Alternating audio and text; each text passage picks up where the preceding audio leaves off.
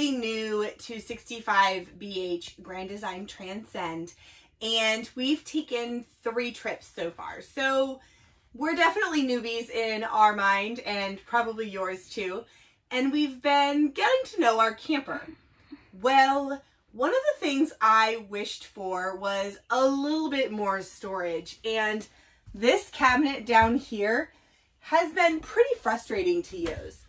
I was looking for a place that I could store like extra drinks and extra things we may need. And when you put something in here and it goes all the way back, it's kind of a pain to get to. At least so I thought.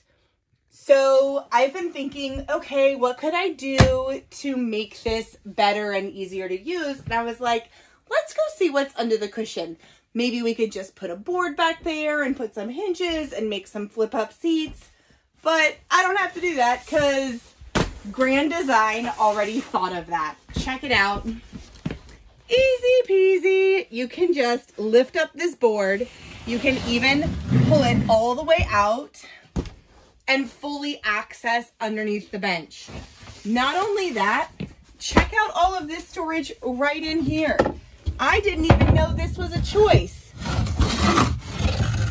So I've got all of this storage under here as well. You can see my fancy crystal camping glasses.